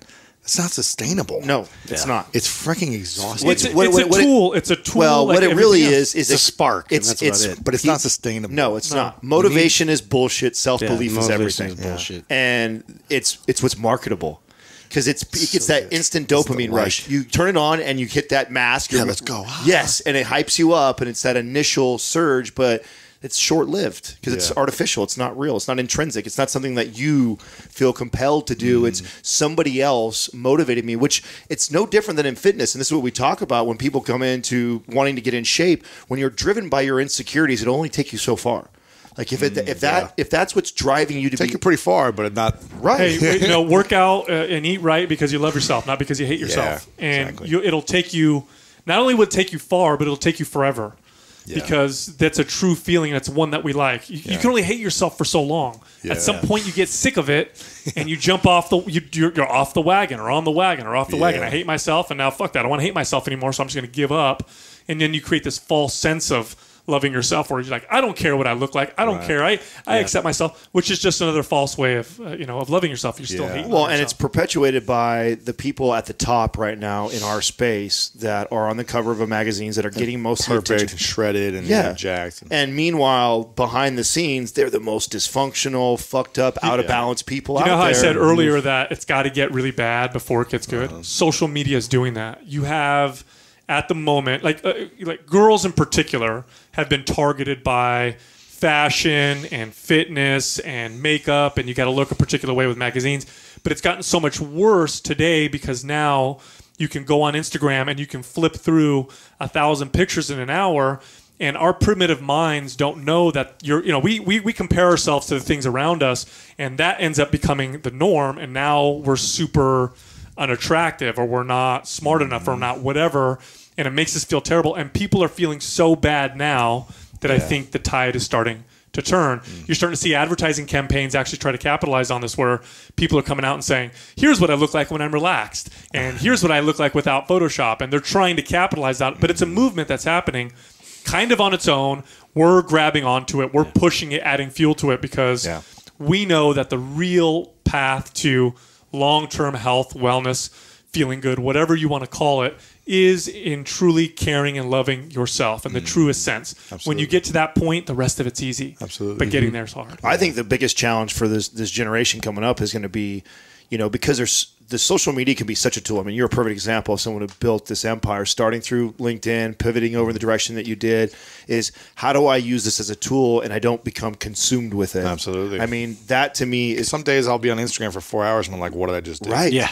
Right. Where'd my day what go? The hell am I, That's how am I know it's a big deal because back? I de- I catch myself. You know, I, a guy who didn't even have any social media just seven years ago. Hmm. I mean, I catch myself getting sucked into it. I'm like, man, if this happens to me, addictive, man. right? Isn't the irony is, got people who built their business through it. We're telling people I know. unplug. We justify it because it's business related, right? yeah.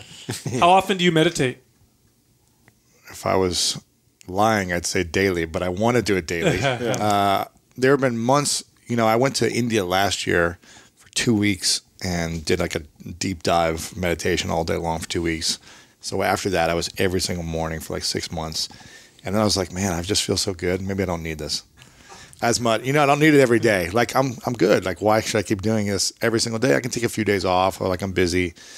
And then it'd be like a few weeks off, and I'm like, I go back to it, and I'm like, oh man, I start to feel a little stress again when I don't do it. So when I do it, do it, I'm like at my best, and it just keeps reminding me, of like, okay, all I need is 12 to 15 minutes a day, and I feel it when I do that consistently. It's like lifting. It's like when you do it consistently, you're like you stay strong. If you like take a week or two off, like I took two weeks off from doing pretty much any working out during my book launch, and I felt like it was total Starting shit all over. I just felt Yeah. like crap. I was like. I stopped eating well when I was eating so good, and I stopped training hard, and I was just like, man, I feel like crap, and so I got to pick it back up. Same thing with meditation, though. It's Mm-hmm. like when I take off too much, it's like Notice. it's totally noticeable. Right. No, I feel- I feel the same way, energy, too. Sleep, everything. You know, I, looking at your your wall, I know it's impossible to ask you uh, who your My favorite person. I'm not going to ask that. What I'm going to ask like you, your because kids, as I know everybody Yeah. asks that shit, Yeah. right? What I'm going to ask you You're gonna offend is who everybody. surprised you the most. Who surprised you the most? Being a guy as self-aware as you are and Yeah. socially probably aware, you probably got all these guests coming in. Who came in and you're like, oh shit, Tell you what, you Cesar underestimated Millan. Cesar Millan, Really? Cesar Long, as dog I'm looking at whisperer. the, the dog guy. He surprised me because he was powerful about just like relationships and spirituality and other things, and I wasn't sure where it was going to go with him, but it was very. Did he show up and go. Shh. like right when you go to talk? No, he didn't. But it was like it was very powerful. I mean, talk about uh, insightful. He was he was That's cool. More than just a reality star. I'll tell you that. Um, who That's else? great.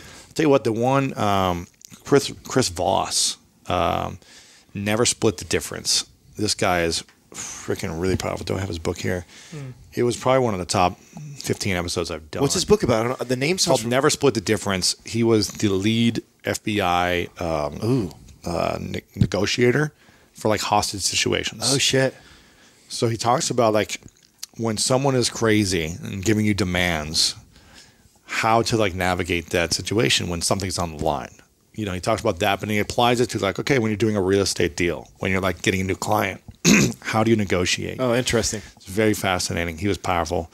Um, they were all, I mean, they're all amazing. Oh, yeah, uh, when you look at the wall, that's why I said I didn't ask you your favorite. But Rob because- Dyrdek, obviously, for me, he was actually one of the most powerful as well because you think of like a skateboard MTV like host, but this guy is brilliant. Mm-hmm. I mean, he is fucking unbelievable. And Have uh, you followed him for as long back? I mean, I've I've followed him it for ten, you know, ten years. I've been following since Rob & Big. Yeah. you know, like you said, for me, it's why you have two bulldogs, right? Right. I was watching him back in college, you know, and I was just like, this guy has the life. Like, it was, and he was from Ohio, so I was like, I was even more connected to him because I'm from Ohio. So I really resonate with what he's built, and his mind is and the and the way he's done it, all the things. his mind is fascinating. Yeah. he is very diligent and disciplined, and with every area of his life, he tracks every area of his life with a system that he built for himself, tailored to his needs, and it's just mind blowing super unassuming.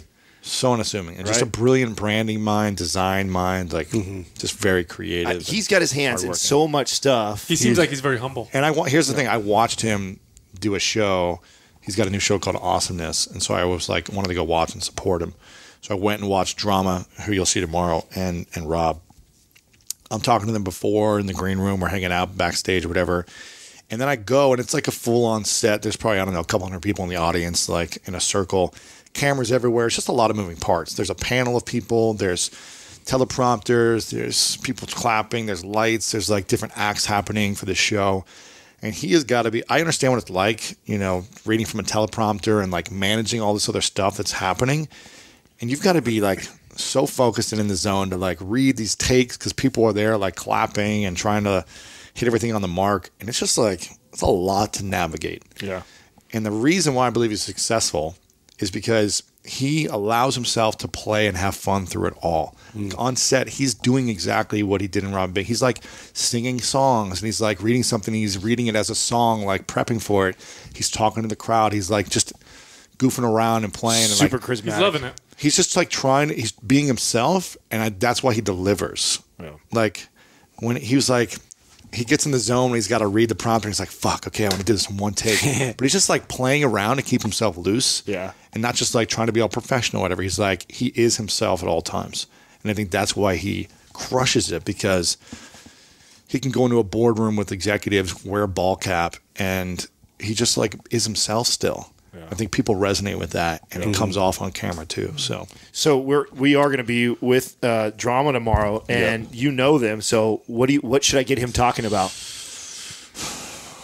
you should talk about drama's experience from like Ohio growing, or I think he grew up in Ohio as well. But yeah, talk about drama um, growing up, and if he thought he'd be doing this like fashion brand, and Yeah, I'm really interested in the story of while Rob & Big's happening. Where is he at in his life? Is he watching? Yeah. Is he watching Rob? What's he thinking about? he was like the assistant or whatever, right, for Robin Big. He was like, oh, so he was already. he was in the show. Hmm. Oh, he was. Yeah, he was in what? the show. I don't even He even became like a Yeah, they got him sidekick. I've in every episode, towards the dude. end. Yeah. No, he was. John was in the show as like, oh, I'm bringing in my cousin to like help out, and he made Yeah, him like right, pick right. up dog shit and do this. Yes, you're right. So he was like the little bitch that. You had to clean up after the mini. That's horse. right. He Like, did. He did. He brought him in with like the third or fourth season. Yeah, maybe. Yeah. Yeah. I think it was only around a couple of seasons. It, it went four. Two or did it go no, four? I thought it went four. I have them all. I own them all. Maybe. Maybe you're right. Um, it's funny because I went on his show the day after Big Black died. Oh wow! It was like the day before that happened, and it was like so. It was an interesting episode. I, I didn't even really share much. I just asked him questions the whole time about how he went through that. How was the he? experience. Yeah. Um, so I would talk about that. I mean, his brand is like evolving so much, and yeah, just talk about his vision. Yeah. What's your what, What's your dream moving forward? Um, Hundred million in a Again, I want to reach 100 million every week, but I want to be. I don't need to be like the guy or the expert or any of these things.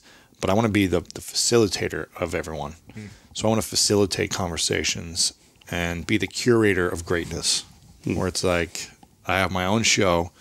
I get to interview the biggest people in the world and talk about the ideas, the stories, the products, the, the things that are happening, and curate and facilitate this and make it about other people, not necessarily about me, but be the center curator of it. So that's the goal. Excellent. You're on your way, man. Yeah. Yeah, yeah, yeah. for sure. Definitely. Definitely. Yeah. Well, thanks for coming on. Yeah, I appreciate Yeah, it. dude, guys. a yeah. great time. We'll absolutely, we'll absolutely do this again for sure. Yeah, Yeah, for I'll sure. to come up to San Jose next Yeah, time. man. Yep, come check us out. Yeah, we'd love it. Excellent. All right, so go to mindpumpmedia.com, enroll in our 30 days of coaching. It's available for free. Also, check us out on YouTube, Mind Pump TV. There's a new video every single day. Thank you for listening to Mind Pump. If your goal is to build and shape your body, dramatically improve your health and energy, and maximize your overall performance, check out our discounted RGB Super Bundle at mindpumpmedia.com.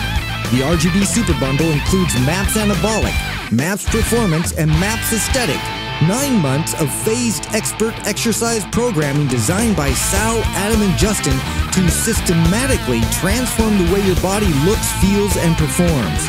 With detailed workout blueprints and over 200 videos, the RGB Super Bundle is like having Sal, Adam, and Justin as your own personal trainers, but at a fraction of the price. The RGB Super Bundle has a full 30-day money-back guarantee, and you can get it now plus other valuable free resources at mindpumpmedia.com. If you enjoy this show, please share the love by leaving us a five-star rating and review on iTunes and by introducing Mind Pump to your friends and family. We thank you for your support, and until next time, this is Mind Pump.